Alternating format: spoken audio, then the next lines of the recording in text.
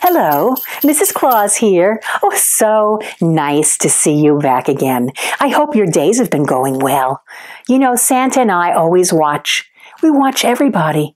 We'll watch people from when they're little bitty babies as they grow old and they get older and they become the great generation and they silently age out.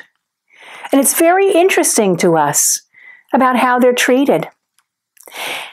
There's one story of one special little lady that I would like to tell you today.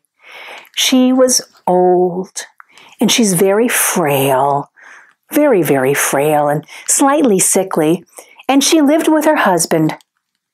But then her husband passed away and she was living by herself.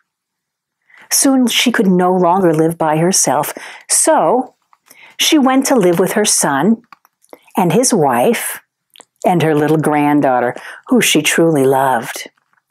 Well, as I said before, she was extremely frail, and even at the dinner table, she would have difficulties.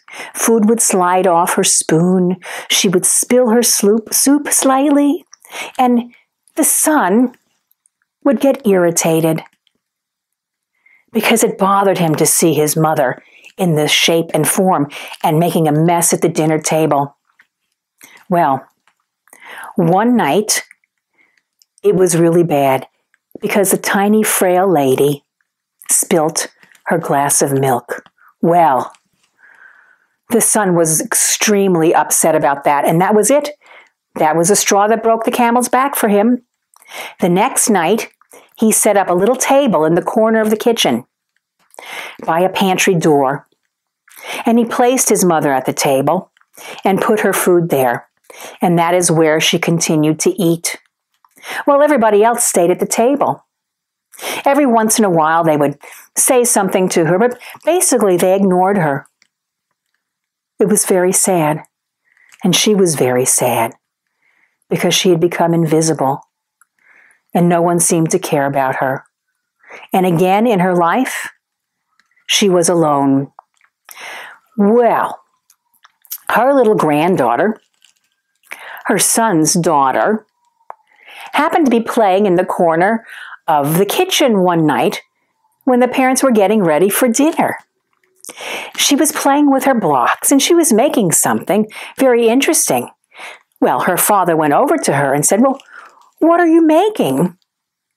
And she looked at him and she said, I'm building a table in this corner so you and mommy can sit here and eat when I get older. Out of the mouths of babes, sometimes we're forced to see our own reflections.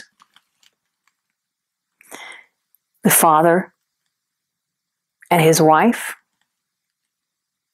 they broke down in tears. Don't forget your older generations. Don't make them invisible. They have so much to give you and so little time left. And with that, I hope you have a good evening and hopefully we'll see you tomorrow. Bye bye.